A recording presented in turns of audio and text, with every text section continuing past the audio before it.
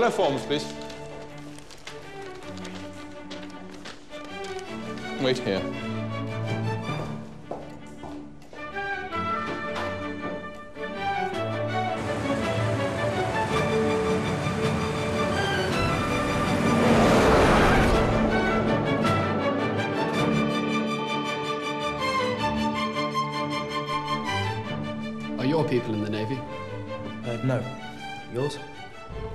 My father's captain of the Unity. What does yours do? He's a writer.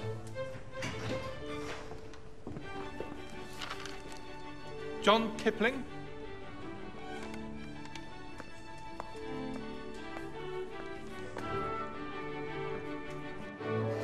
Come on, Kipling, where the hell are you? I'm a great admirer of your father's. Will you tell him I just polished off Kim? Absolutely loved it. Yes, I will, sir. Wearing spectacles. Yes, sir. Shall we start with the eyes then, and work backwards?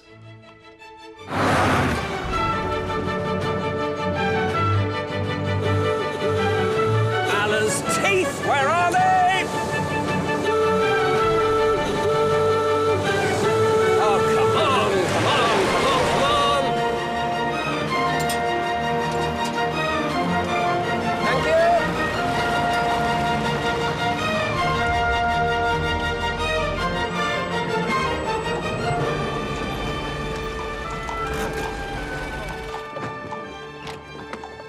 His Majesty is expecting you, sir. Thank you. Don't worry, I have it about me. I shall catch you on the way up. Thank you, sir. Stand on the cross, please. Turn around. And read the letters on the chart, starting at the top. H A L. Without the spectacles?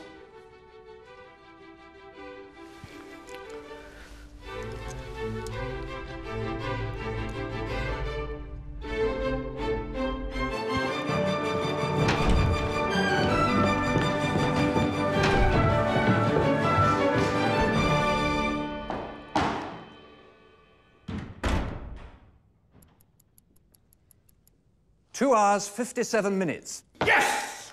Ah, at last. Congratulations. Thank you, Your Majesty. Marvellous run. Awful close. Whiskey? It's a bit early. Oh, bugger the time. Got to toast your triumph. I've been tinkering with fourth gear. It adds a little something. Plus a new stretch of tarmac near Lamberhurst. To the shattering of the three-hour barrier on the Bateman's Windsor Run. To the Silver Ghost. The Silver Ghost. How's the family? Well, as we speak, my son will be plumb in the middle of his medical for the Navy. Ah, big day. Absolutely. How's your youngest? Not good. Big heart, weak body. May I read you something? Fire away. This morning's Times. Rudyard Kipling, speaking yesterday at a meeting attended by more than 10,000 people, painted an alarming picture of life in this country under German rule. Mm-hmm. You think they'd invade? I know they would, and our government will be there to welcome them ashore. Soft-centered bloody tribe. The Prime Minister has asked me to beg you, those were his words, to hold back at this sensitive time. Why? He believes there's still a chance of avoiding war. He's wrong. He thinks your pessimism is premature. One million German soldiers are sitting on the Belgian border ready for the off. It depends how you define premature. Quite. Our heads are buried in the sand, sir. We have a tiny professional army. Our weapons are 50 years old. If we don't get our skates on, we will pay the price. But are you prepared to ease up a bit, at least in public? Certainly not. Glad to hear it. More whiskey?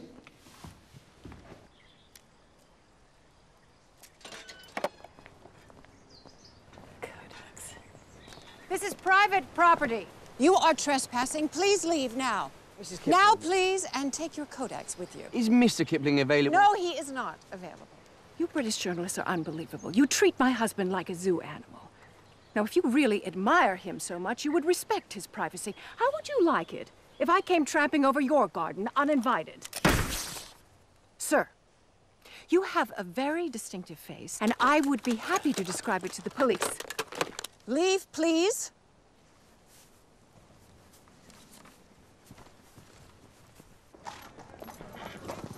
The injured soldier. Thank you for sir. What an ever so impressive sight. How far did you fall? 15 feet. Allah be praised. 15 feet is high. Did it hurt a great deal? No. That was a stroke of luck. Now, your father tells me you've read the first Jungle Book, Yes. but not the second. No. Here you are, Arthur. Is Mowgli in it? Every page is chock-a-block with Mowgli. And I've written your name and my name in the front so we don't forget who we are. And I've done a very silly picture of you plunging from your apple tree, but that's in pencil so you can rub it out as soon as I've gone. Thank you. Kodak's in the garden again. Did you see them off? Oh, yes. Well, that's good. Derry and Tom's are selling women's underwear in the suffragette colours. Purple and green stripes. Don't you dare. Ah. There you go, Josie. I never imagine her aging. She's always seven, but she's always older than me. Funny. She'll be 22 now. And 32 days exactly. Do you know what my mother used to call her? The little American. Really? Hmm. She spoke with an American accent until the day she died, much to my mother's delight. Jack! Jack! Jack!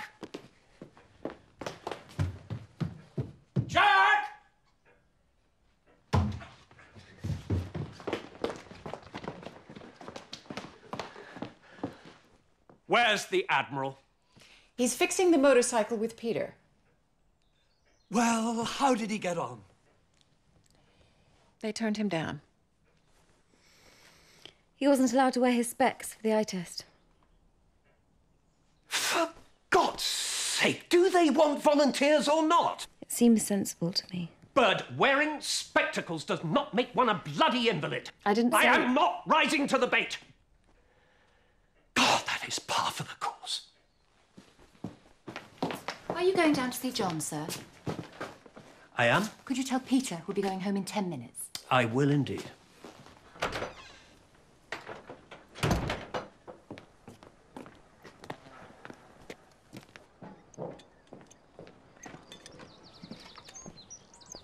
Peter, your mother wants you ready for the off in ten minutes. Really? Really?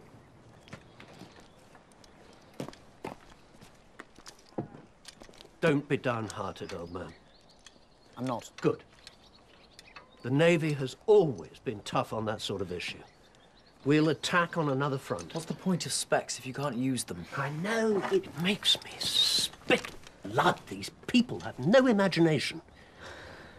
But we must buck up and look forwards. Did they realize who you were? One of them did. Right. Look, the army would be a completely different kettle of fish. I wanted to join the Navy. I know, but onwards, old.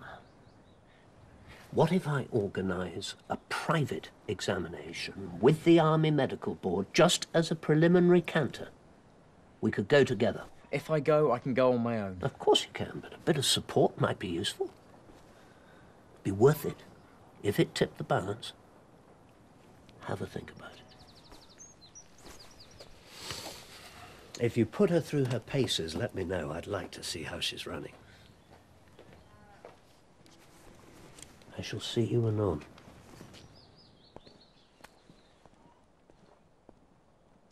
If the Hun invades our shores, our English soul will be squashed and squeezed until it cries out in pain. The German will bring in his wake riot and starvation and bloodshed. The blood of our mothers and fathers, our wives, our sons and our daughters will drench the streets of our cities and paint our rivers red. and after the war is over, when the riots in London and Manchester and Liverpool are quelled, when our raped women are huddled and still, what then?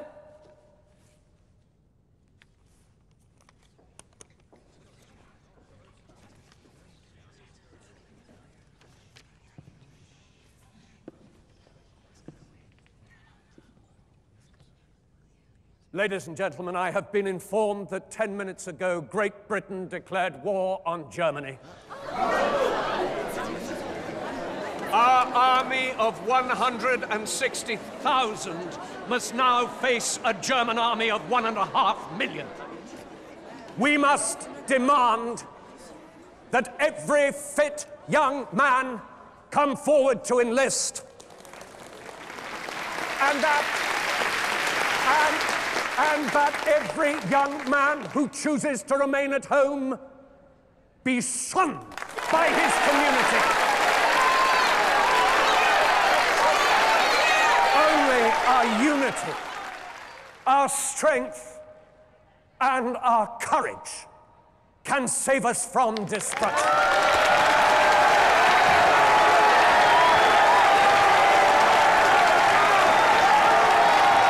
Wonderful speech. Sandhurst, here I come. When did you join the Navy, Jack?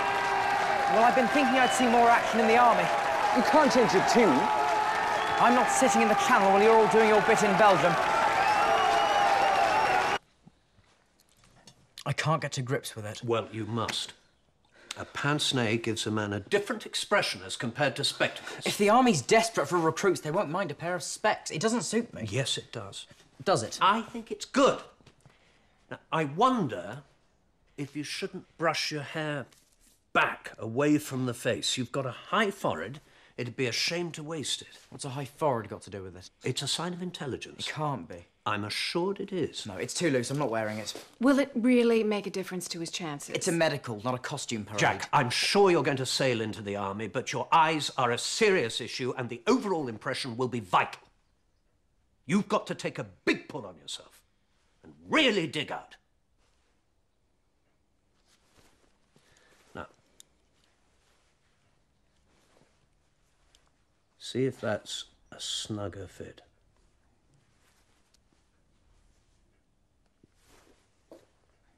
Better? Probably. Good.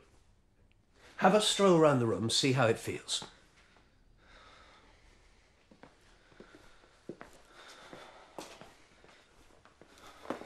I'm not wearing it. Jack! You'll do more harm than good. He is not a boy. He is a young man. If you continue to pamper him, he will turn into something altogether weak and watery. Well, if he's a young man, he's old enough to make his own decisions. This is absolutely his own decision, but I want him to make the most. You want. For his sake. It's Jack's future. Precisely. No, I'm not going to argue. Rudd, his eyes are not an excuse. The Navy gave him five minutes. Do you really think it's fair to encourage him? I would think it very unfair if I didn't.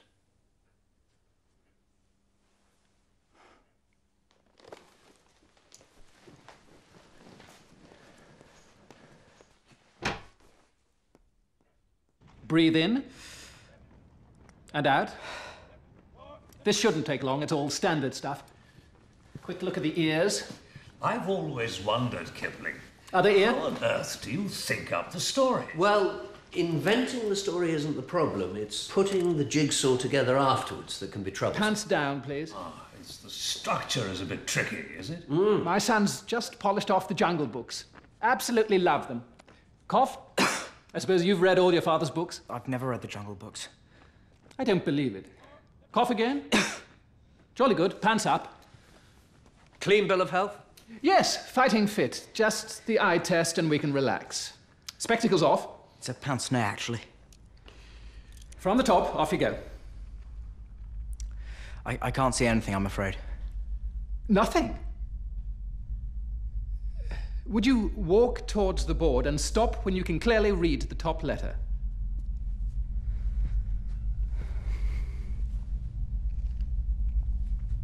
T Q U. And the next line?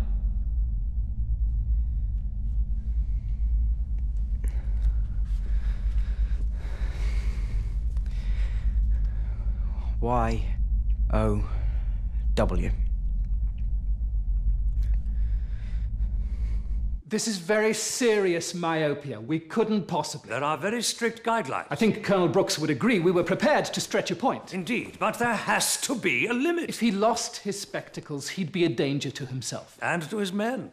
I'm very sorry. So am I. You haven't given the boy a chance. It's precisely the sort of inflexibility this country needs to get out of its system. John has so much to offer. It's a great shame. I agree. I do agree. Well, clearly you don't, or we'd be looking for a way forward. Nothing you can do. Hmm? Well, I'm not calling it a day. I shall write. I think it's utterly gutless. It's so spineless. Come on, John. We're off. My son's commitment is second to none.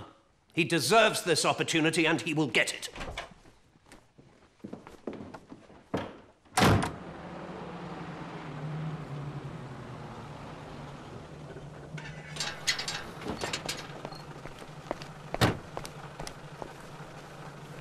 Jack? Jack.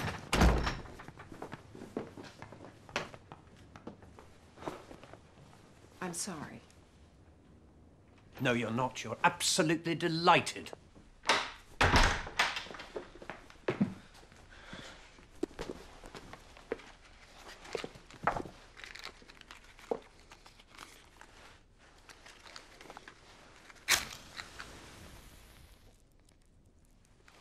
Best beloved brother.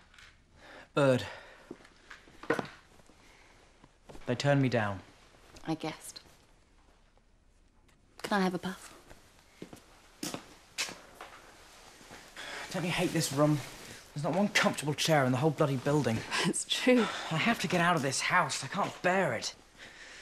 I can't bear being G'd up and encouraged. Better than being criticised. No, it's not. You see, you don't understand. I have to be with other people.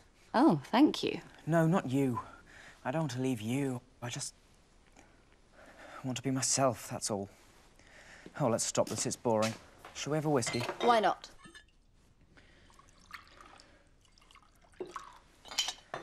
What shall we drink to? Us. Best beloved sister. Best beloved brother. Don't you dare leave me alone, all right? Promise me you won't. Jack?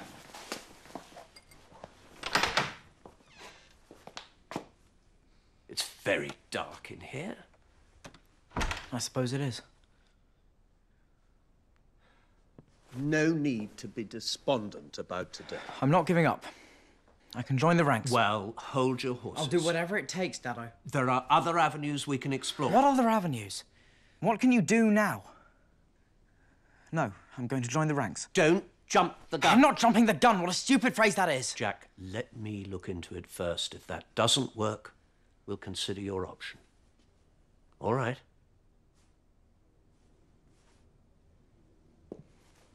And I'm thrilled you're so keen. And terribly proud. We'll get there. So. Hold on, old man.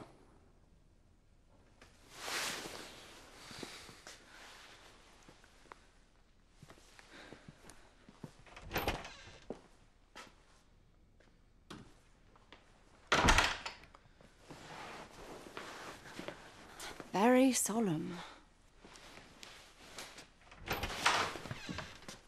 You will put out that cigarette before you go up, won't you?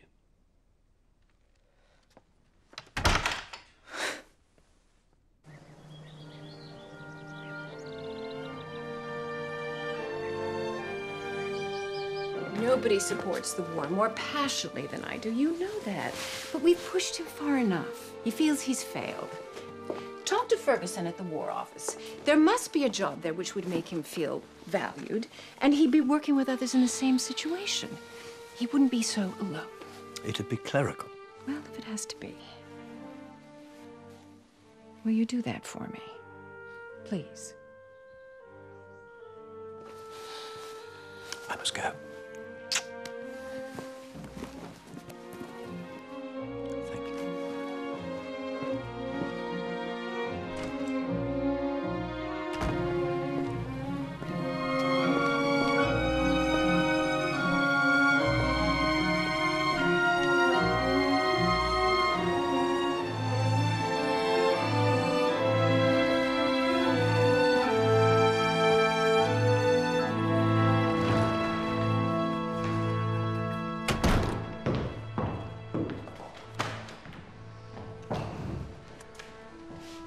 I have the British casualty figures for the first day of the battle for Aubers Ridge.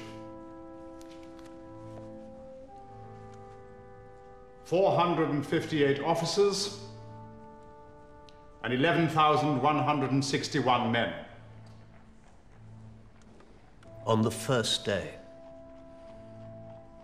I'm afraid so. I can't announce that to the House. The effect on morale will be disastrous.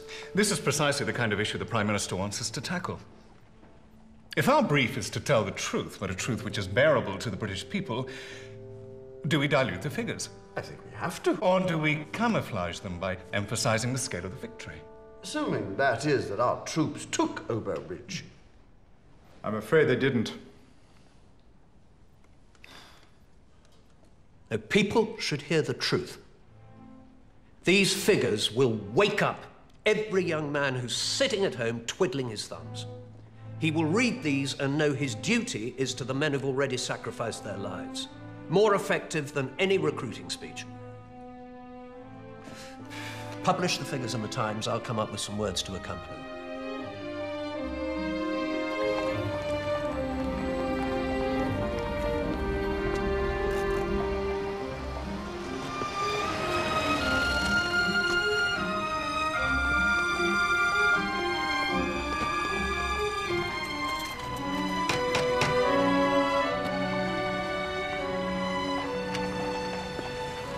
Good morning, sir. Field Marshal Roberts is expecting you. Thank you.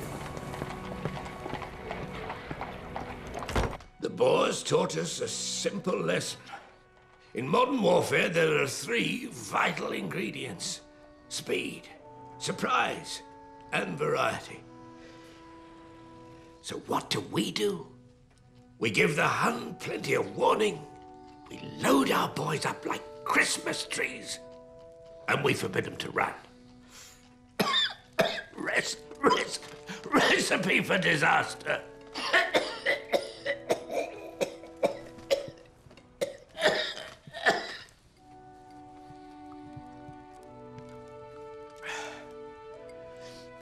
What can I do for you, Kipling?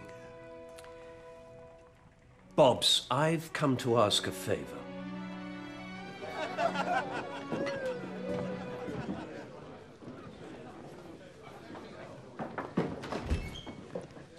Hello, Jack.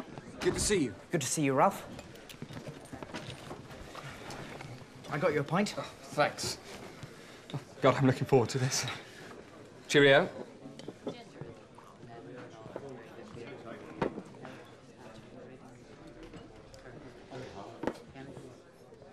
So how's Sandhurst?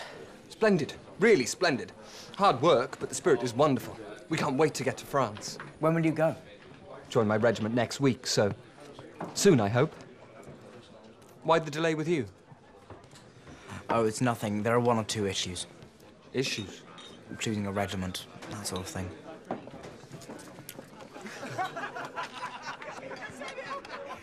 They're from the Royal Sussex. They fought at Wipers. It's probably their first leave.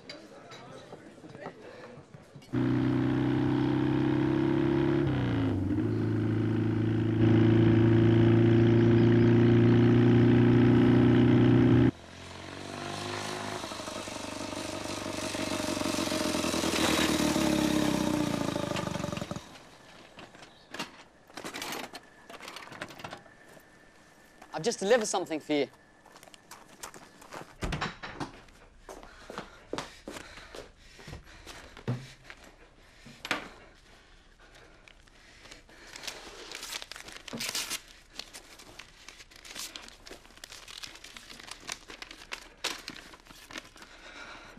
Oh, yes!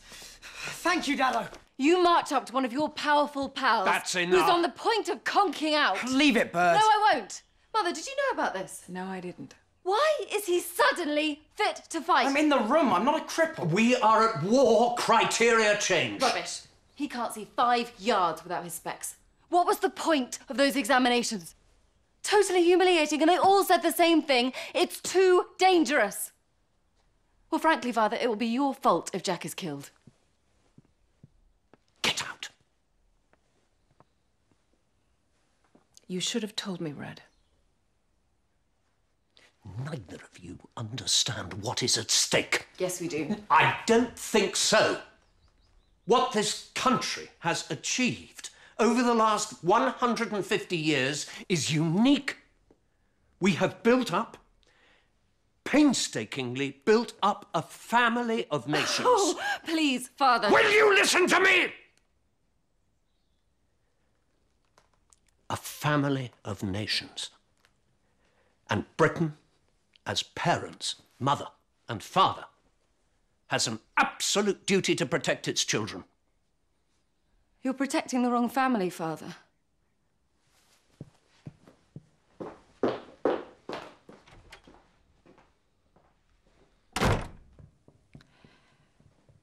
I'm sorry the War Office couldn't come up with something, but I'm sure you did your best. Mother.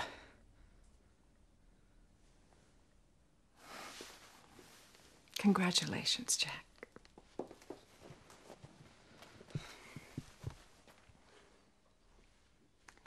Now, you and I must sit down and make a list of what you're going to need. Go on.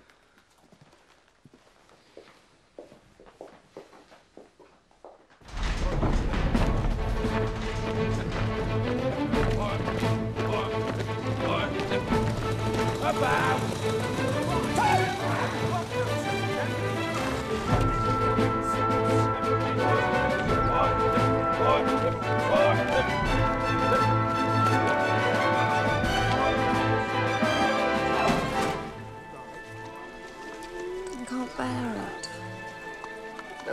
always had Guernseys. Not anymore, Bird.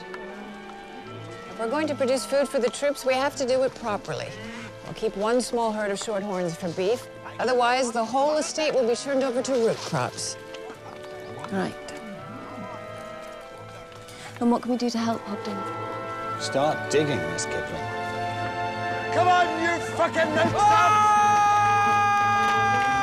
You're supposed to stop that, Kipling! Ah! That tickle under death! Is that all you got? Come on! Quickly! This is no time for personal grooming, Kipling! Get your scrawny arse back in line! Come on! Come along, Mrs. Clark. Best foot forward. Up and to your left. Mrs. Wilson, up and to your right now. Miss Kipling, up and to your left. Mrs. Kipling, up to your right. Thank you.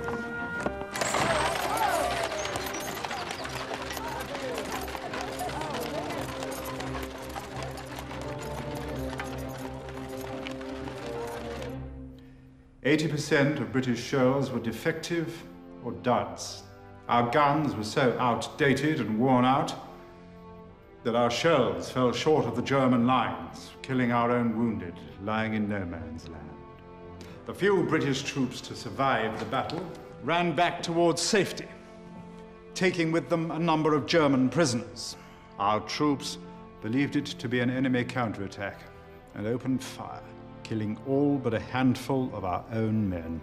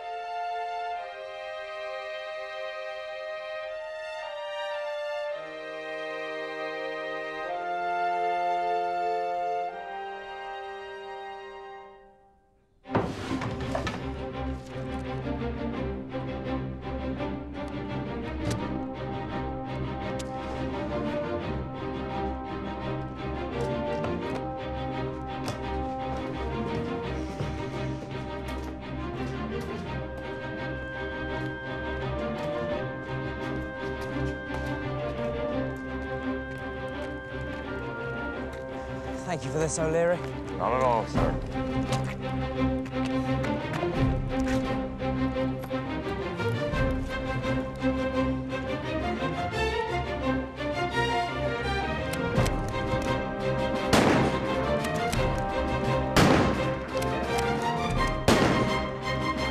Seventy-two, sir.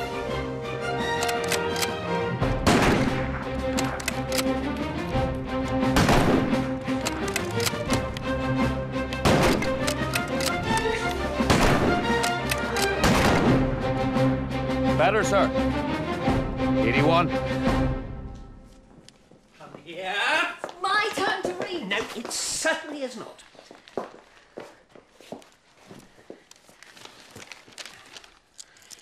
Dear old things plus bird, as you can see from the enclosed photo, I am no longer a mewling, squawking cadet, but a fully fledged, highly commissioned officer. Let me see. You are looking at Second Lieutenant John Kipling. Show me. Doesn't he look fine? Corporal O'Leary has prodded me and pushed me and knocked me into shape. He tells me I am now ready to command men. Raw recruits arrive from Dublin any day now. Twenty of them will be my platoon. It's my job to turn them into hard-bitten professional soldiers. I am more windy about meeting them than about going over the top.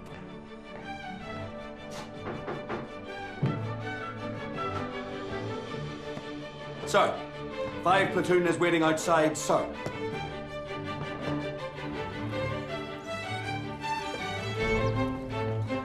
Officer! On your feet, you lazy bastards! Up! I am Lieutenant Kipling. I'm your platoon commander. Together, we are five platoon, two companies, 2nd Battalion Irish Guards. Before you start your training, I want to ask you all a question. It's very simple. Why did you join the army? You. Me, sir? To see the world, sir? King and country, sir. Money.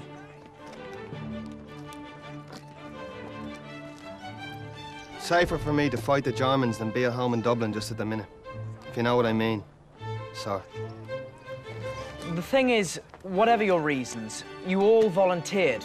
No one forced you to be here, and in a week's time, when you want to shoot me in the head, I'd like you to remember that.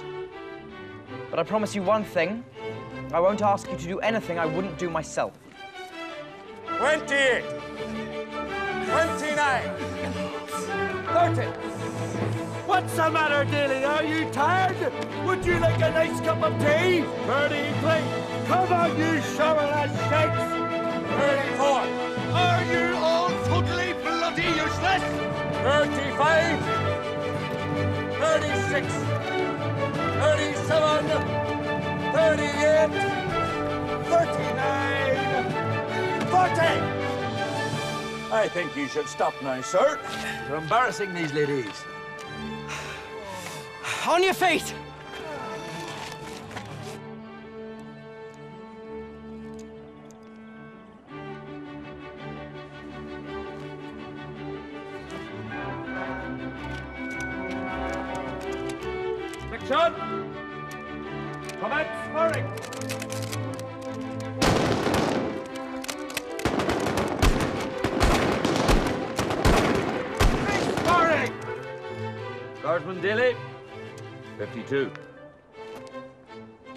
Guardsman Doyle, 48. Guardsman Bow, 58. Guardsman McHugh, 77. Lieutenant Kipling, 93.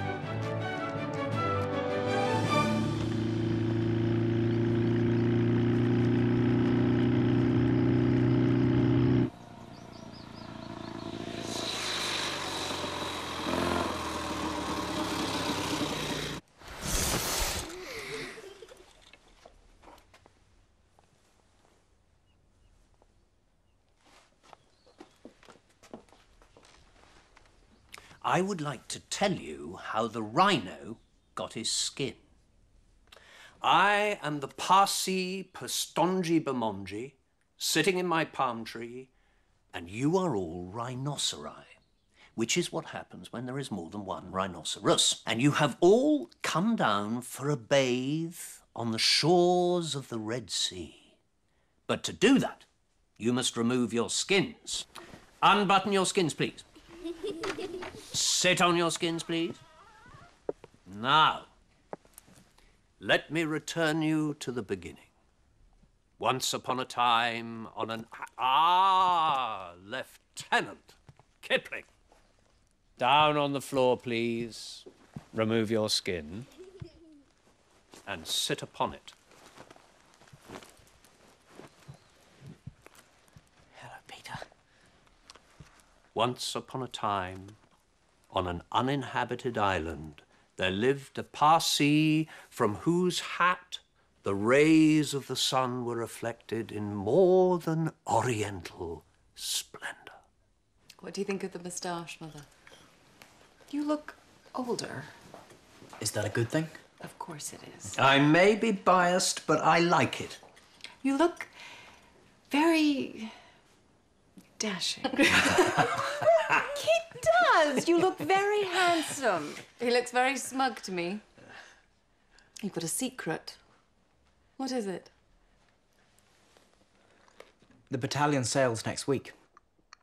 I'm going to France. But why now? Couldn't they have given you any warning? Well, we knew it was coming.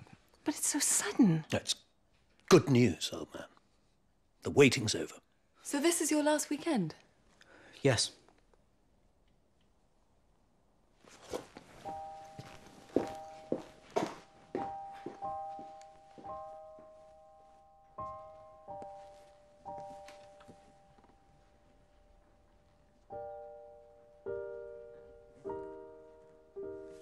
Here's to you, old man. You must be awful excited. I am. I wish I could be in your shoes now. Take one of mine, Dad. Thank you.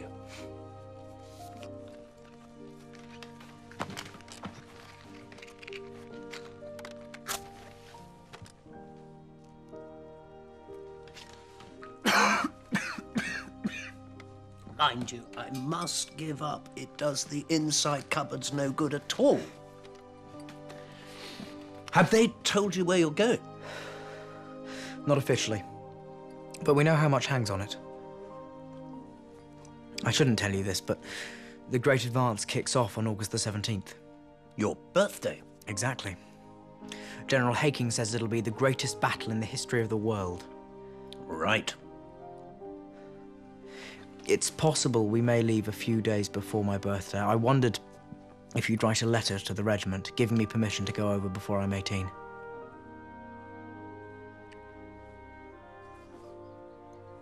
The greatest battle in the history of the world.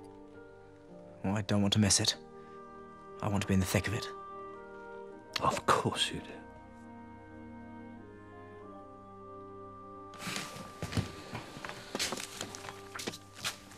Who am I writing to? I have got some important things to give you. First and foremost, a bar of chocolate, Can I eat it now? which you can eat now. Secondly, the key to my shed. My own key. Your own key. Do not lose it. And thirdly, a list of things to be getting on with. I want you to read it to me now so you'll absolutely know what's to be done. One. Oil the chain once a week. Not too much oil. Two. Clean the plugs. I don't know how to. Which is precisely why I'm going to show you. When you come back, Yes? will you bring me something? What do you fancy? A German shell? I shall try.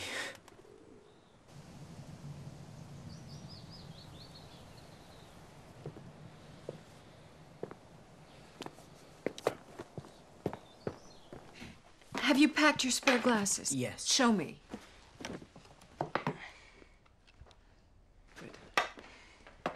Jack, you ought to leave. Coming. You look so fine. How do you get those buttons so shiny. They're like mirrors. Someone does it for me, that's how. Don't worry. Corporal O'Leary will look after me. Well, I'll blame him then if anything happens to you. Jack, we're up against it. I'm off. I won't come down. All right.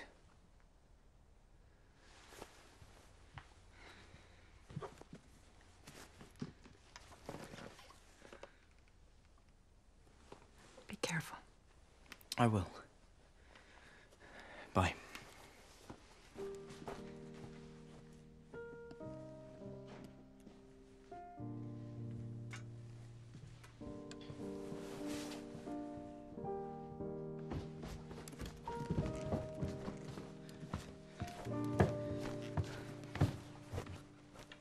Bye, Bert.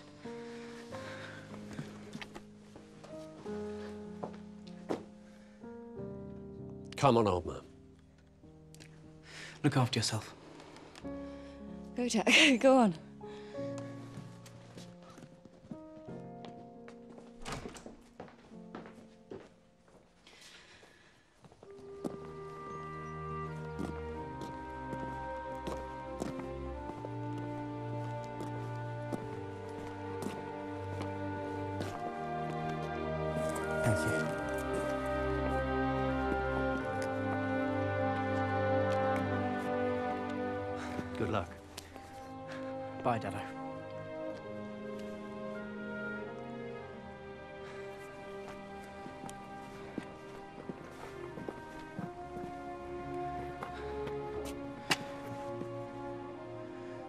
16 officers from Warley Barracks have died already.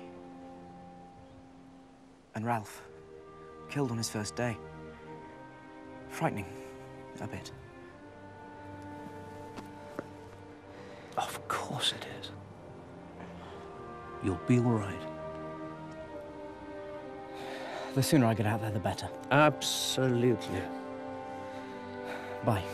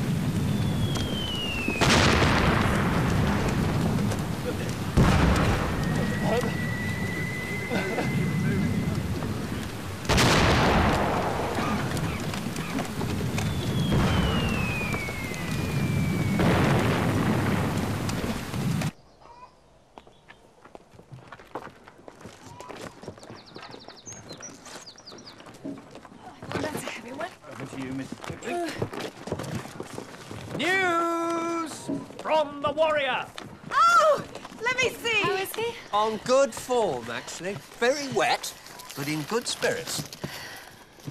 Bonjour, all things plus bird. Just a hurried line to tell you I am A1. I have never been so fit. We marched 60 miles in 36 hours. It is raining here like Hades. Will you send me an oilskin coat, one of those black things that the sailors wear in the North Sea? Could you try it on first, Dad? it must be good and roomy. The Germans seem to be getting into their stride here, but we'll be ready. We'll write again soon if we ever stop marching. Dear love, John. 60 miles. You must be exhausted. Is that thunder? It sounds like it. No, the wind has changed. It's from the south. From France.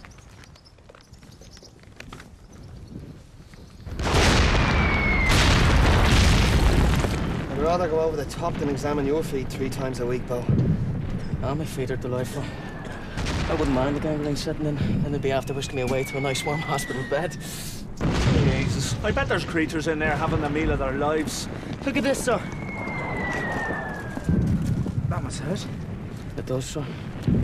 Is it the trench foot? No. No, the foot's a good colour.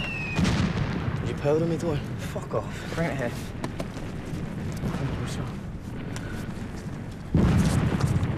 Oh, Jesus Christ, that feels good. Oh, Jesus, that's lovely. Jesus. I've just had a terrible image of you in bed with your wife, Bo. Jesus, fuck! Oh, God, that was close.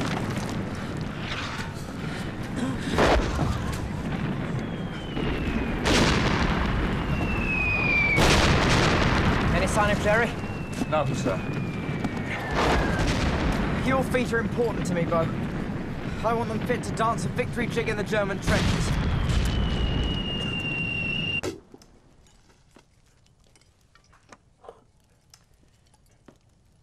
To Jack. We're thinking of you, old man. It would be a happier birthday if you were here with us at Bateman's. But we're awful proud and wish you all the luck in the world.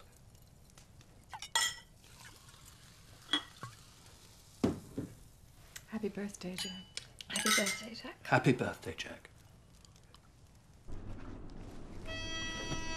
Happy birthday to you.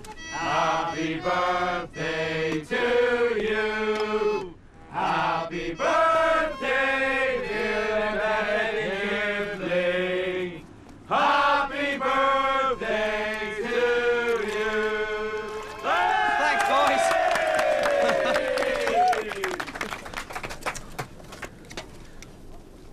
Have a birthday present for you, Kipling. When do we go over, sir? Tomorrow morning. 7.30.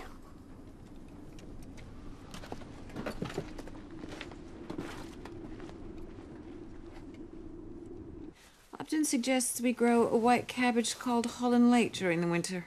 Apparently, it's the only brassica that will stand the journey. You agree? Right? I'm sorry, I wasn't. It's that important.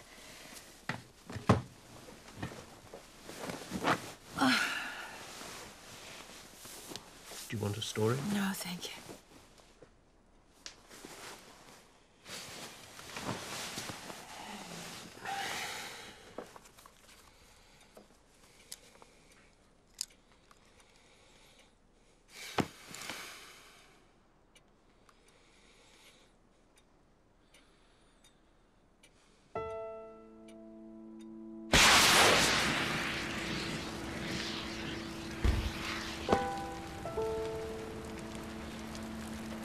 Dear old things plus bird. Funny to think one will be in the thick of it tomorrow. One's first experience of shellfire in the open. It is great luck that my first action shall be such an important one. You have no idea what enormous issues depend on the next few days. If we succeed, the war won't go on for long. We won't have any time for writing, so this may be my last letter for some time. So long, old dears. Dear love, John.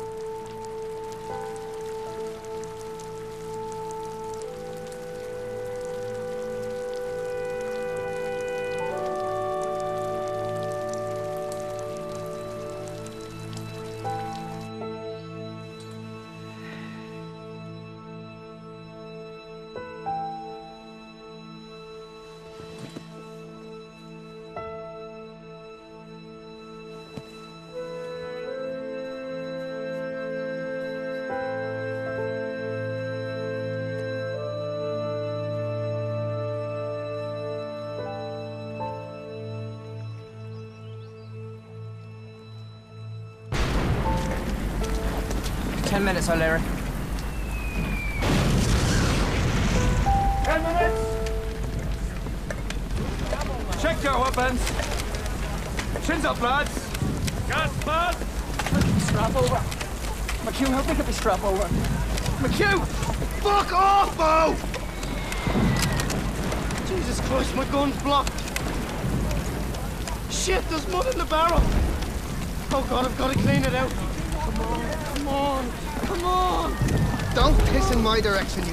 Bastard. Don't be pointing your scabby cock at me! Shit, shit, come on. I've been shitting and pissing all day now, I can't go.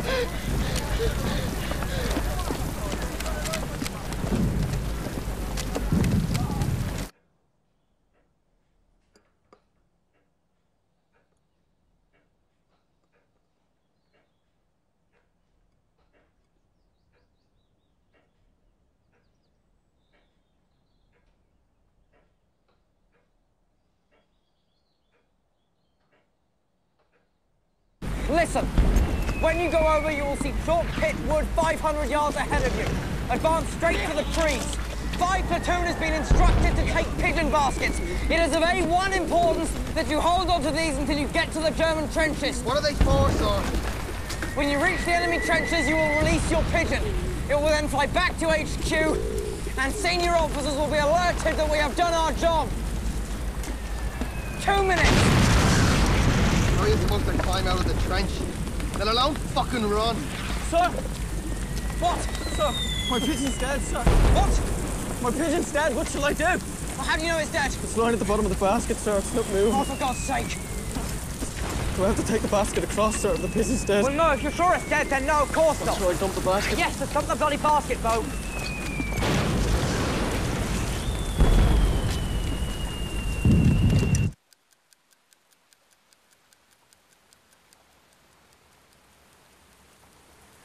One minute.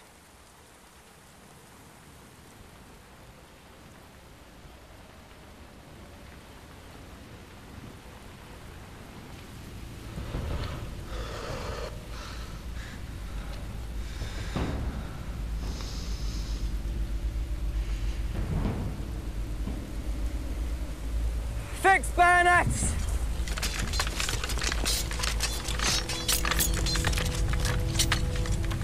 Oh, mother of God. I can't do it. My fingers won't work.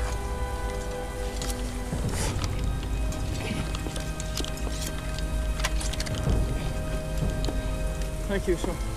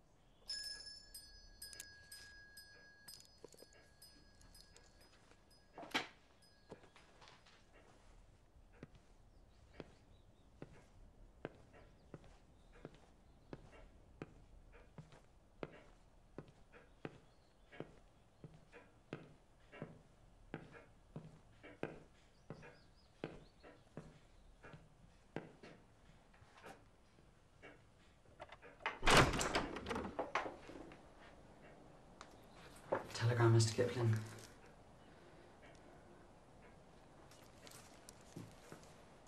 Thank you very much.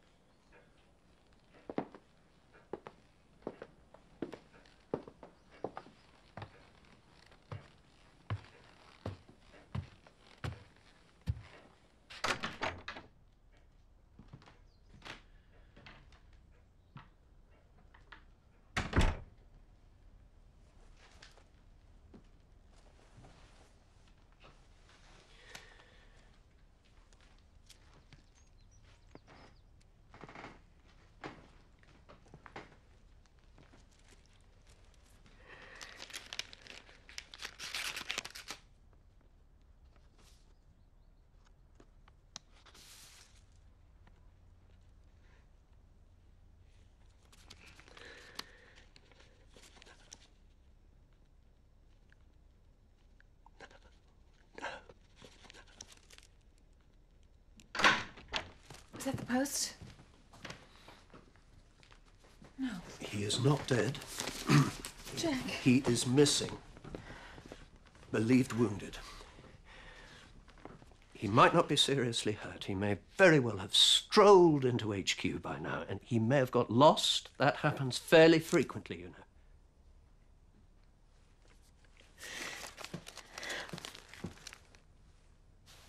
We should have stopped him.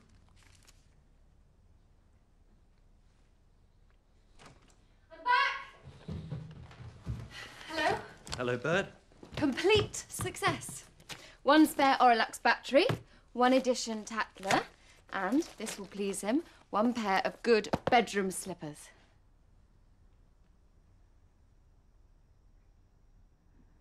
He's been killed. No. No, he's missing. Missing. Believed wounded. He'll come home then. He'll be fine.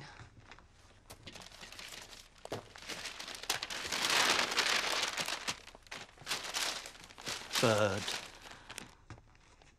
Why did you let him go?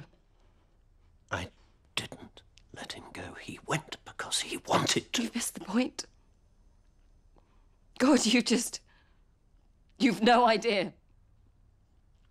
Don't you realize he didn't give a damn about your cause? The reason he went to get his head shot off was to get away from us, to escape this dark, depressing house, to be rid of us, to be rid of home. What does that do to your theories, Father? Is that, is that reason enough to fight? Is that an honorable sacrifice, is it? Is it? I don't think so.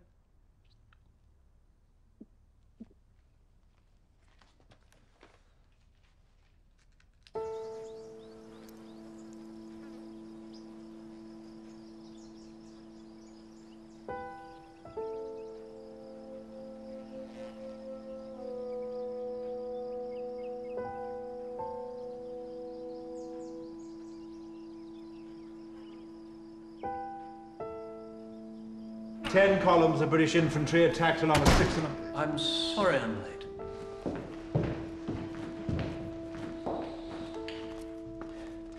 We were just discussing the Battle of Loos.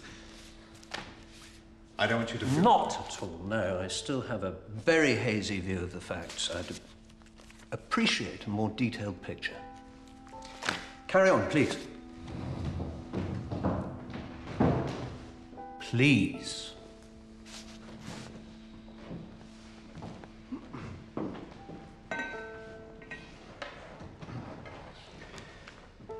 The British bombardment was ineffective and we ran out of shells after 90 minutes. German machine gun posts were undamaged. 385 officers and 7,861 men were killed or wounded in the first attack. The Germans already refer to the battle as the field of corpses. A further 600 Irish and Scots guards were declared missing, believed wounded. A substantial number of British troops were taken prisoner. We are investigating reports that these prisoners are being treated in an inhumane manner. However, in some places, up to 2,000 yards of enemy territory was taken. In spite of the cost, Loos was a victory.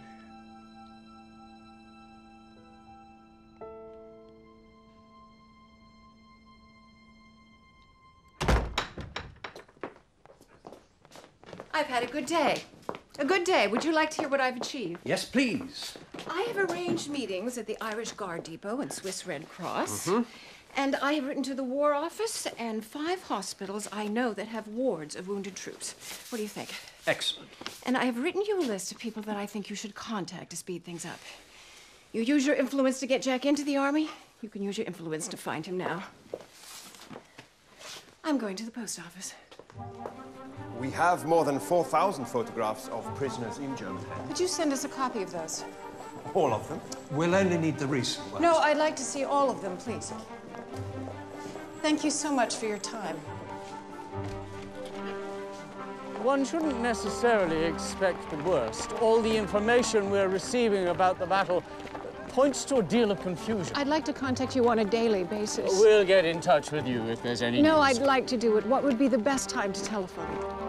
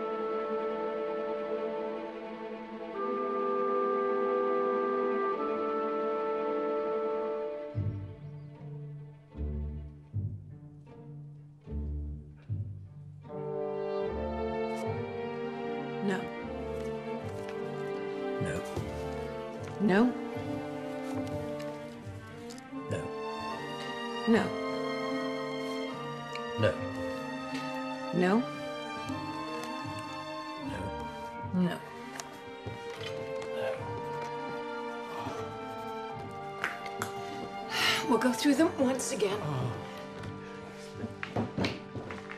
Let's do them tomorrow. I'll check them once again. Let's do them tomorrow. We need to sleep. Go to bed then. All right. Come on.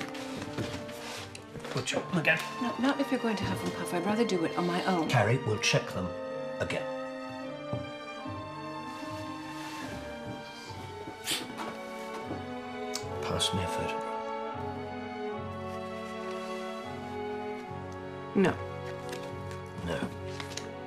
No. No. No. No.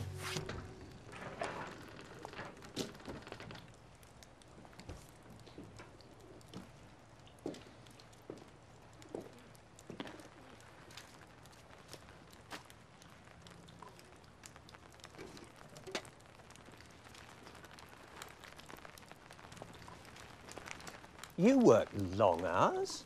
Look,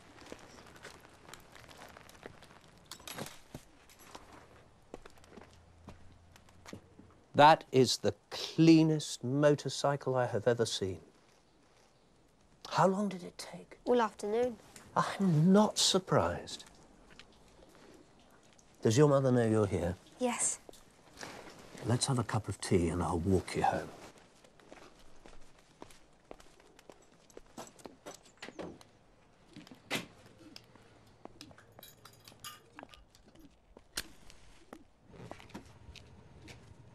Can we have a story? Good idea.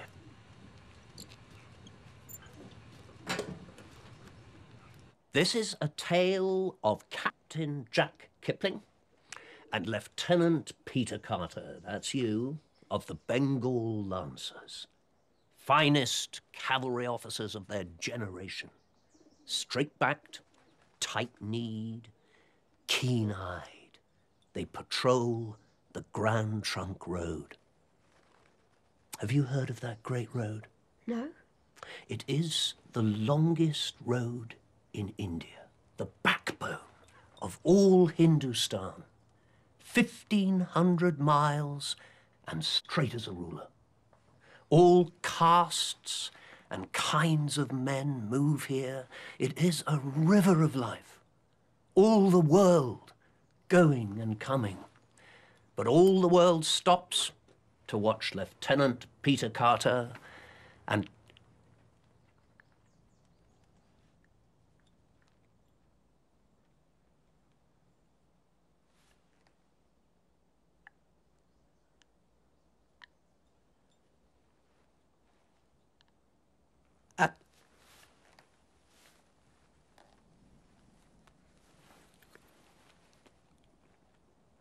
and Captain Jack Kipling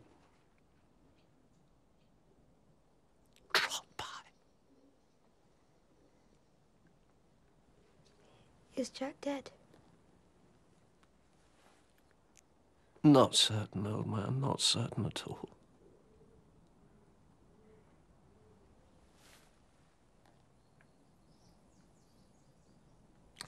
Not even sure he should have gone in the first place.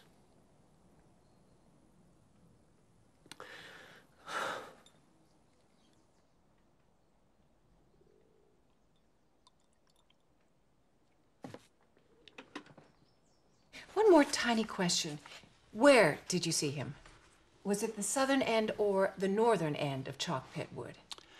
It's difficult to be precise. Let me help you. Carrie. Just a minute, Rutt.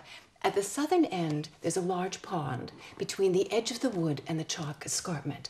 Now, in order to circle the wood, you have to pass the pond. Does that ring a bell? It does, yes. I definitely passed a pond. Well, that's very useful. Thank you, Captain Bruce. You've been incredibly helpful.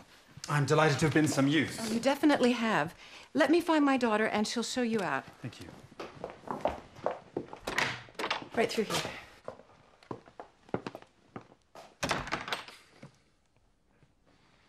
Tired. Tired to the tiredest degree. Rudd? That is very encouraging. It is not encouraging. It is not encouraging because Bruce saw Jack at half past three. We already have at least three sightings of Jack alive an hour and a half later. So fascinating though Bruce's account is, it is utterly, utterly irrelevant. It is not irrelevant. I need to get the whole picture. We've got the whole bloody picture. That's the point. Get no hope. No, I haven't. I haven't at all, but one more sighting early in the battle does not constitute proof that he is alive. It's something. Oh, I'd like a cigarette. Mm, that won't help.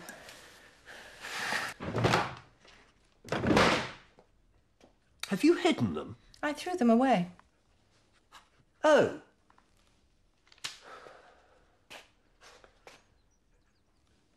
I know.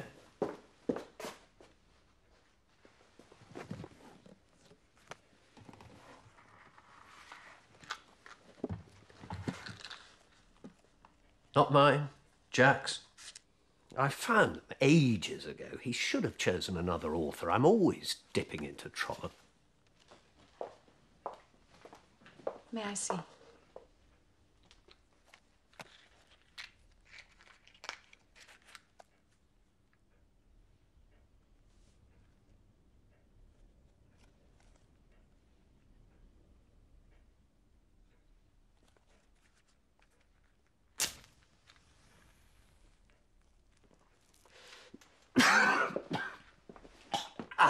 praised. That is exactly why you shouldn't smoke. Fouler than foul.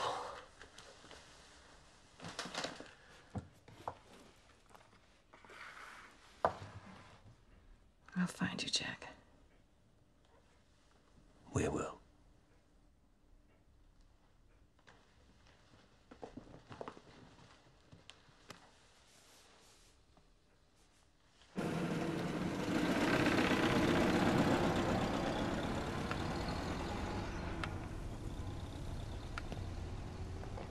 Help you?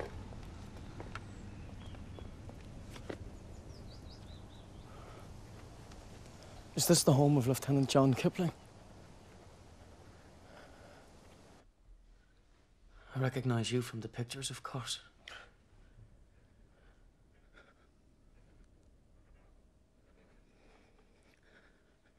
The men are after singing your verses at the front. Did you know that?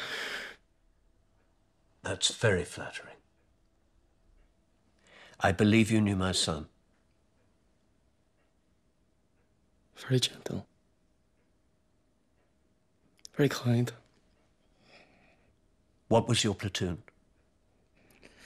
Guardsman Michael Bow, 7786, 5th Platoon, 2 Company, 2nd Battalion, Irish Guards. So my son was your platoon commander. He was always worried about me feet. Your feet? Powdered them the day before we went over. They were in a dreadful state on account of the rain. Was it raining? W- was it raining on the day? minute. On the day with Jack, was it raining? Please. Mr. Bow, we have been interviewing Irish Guards every day for many months. You are the first soldier I have met from my son's platoon. If you know something, anything, that will help us, we would be very grateful. To know, one way or the other, would be a great release for the whole family. Please. Please.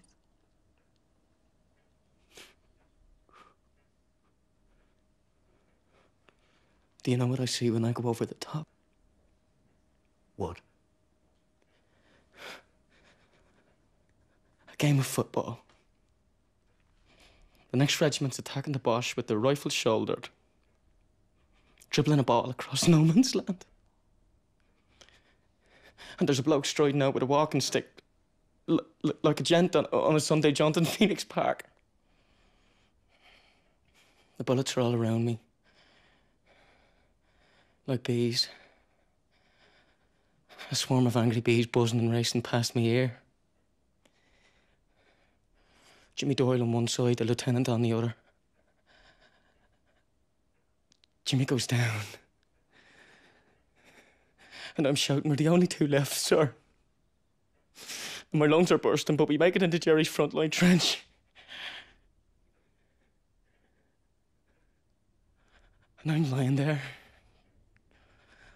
trying to breathe. Lying, lying on top of.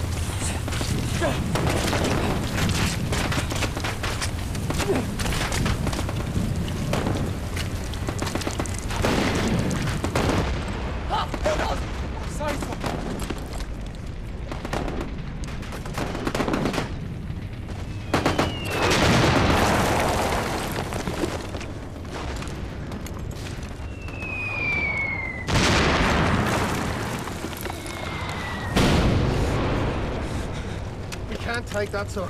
That, McHugh, is why we're here. We're to attack and destroy the machine gun post on Puits 14. I'm not fucking going anywhere. You are. We all are. You're a murderer. You're a fucking murderer. I'm not a murderer, McHugh. I'm obeying orders. Casey, Joyce, McHugh, right flank. Bo, Flynn with me.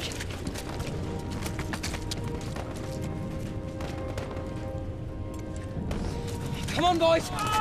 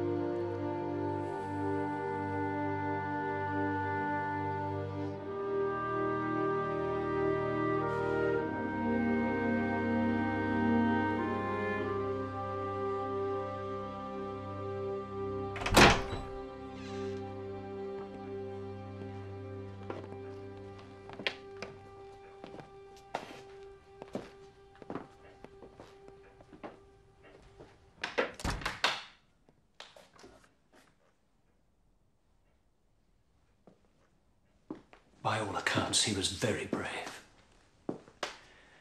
So few of us have the opportunity to play our part properly. But he did. He achieved what he set out to achieve. He must have been in such awful pain. If you talk to wounded soldiers, they'll tell you the pain only sets in later. So he was lucky. It was done with quickly.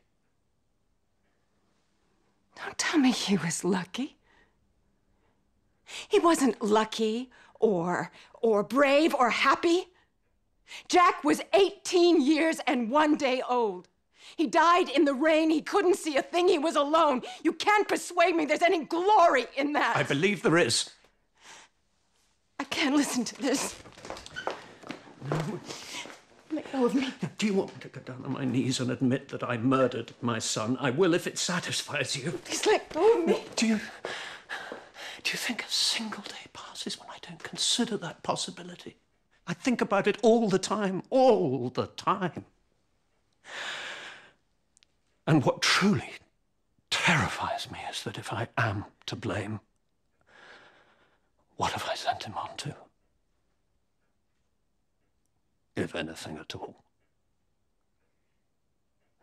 How could I condemn my son to oblivion? How could I do that to Jack?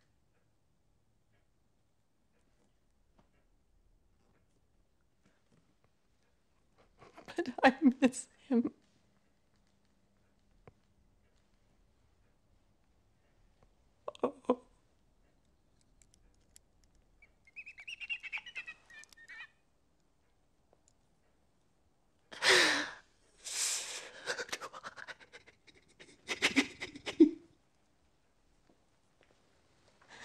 I can feel his head on my chest. I can feel his thick hair under my fingers. I can hear him laugh. I can feel his heat against me.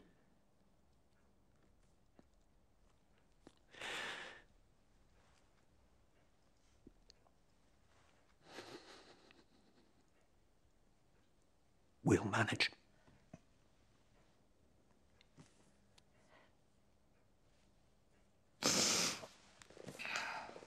Oh, yes, we'll manage. I don't doubt that.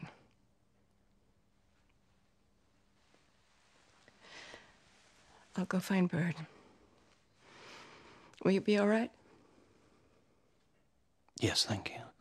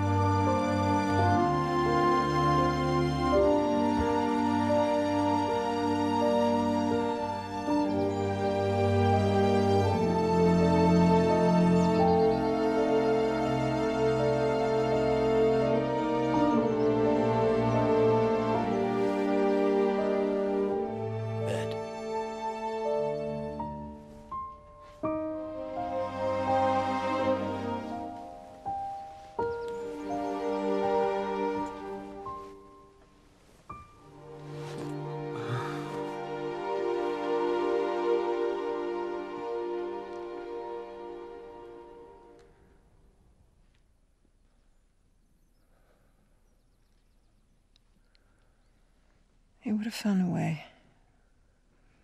Even if you tried to stop him. He was where he wanted to be. I know that.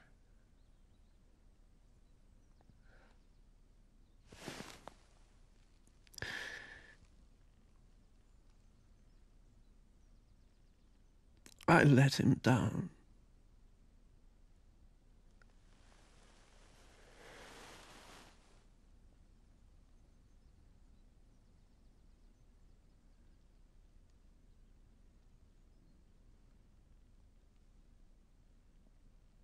Do you want a story?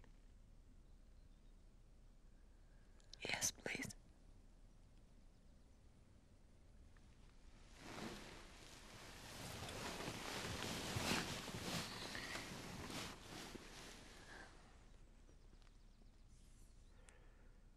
Well, this, O best beloved, is another story of the high and far off times.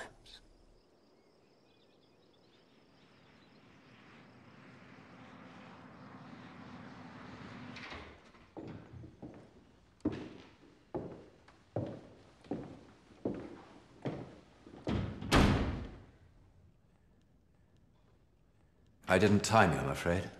Of course not. It was awful slow anyway. I was stuck behind a herd of cattle for half an hour. Bugger all you can do about that.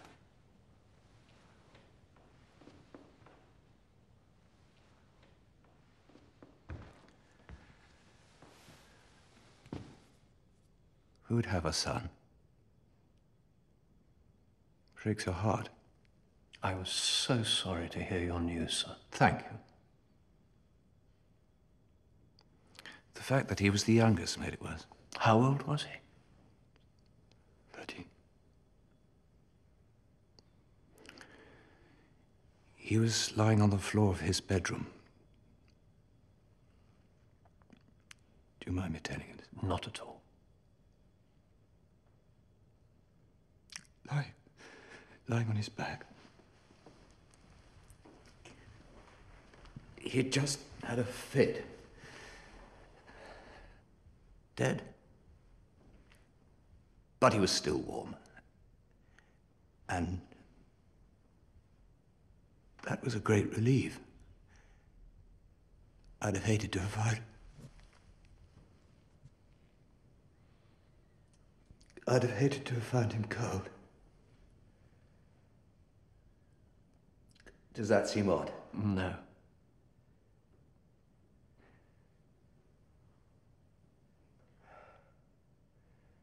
Have you news of my boy Jack? Not this tide. When do you think that he'll come back? Not with this wind blowing and this tide. Has anyone else had word of him? Not this tide. For what is sunk will hardly swim, not with this wind blowing and this tide. Oh dear. What comfort can I find? None this tide nor any tide. Except he did not shame his kind. Not even with that wind blowing and that tide. Then hold your head up, all the more this tide and every tide.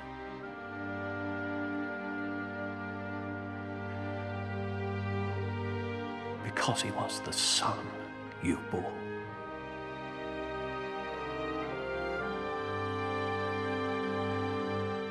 and gave to that wind blowing and that tide.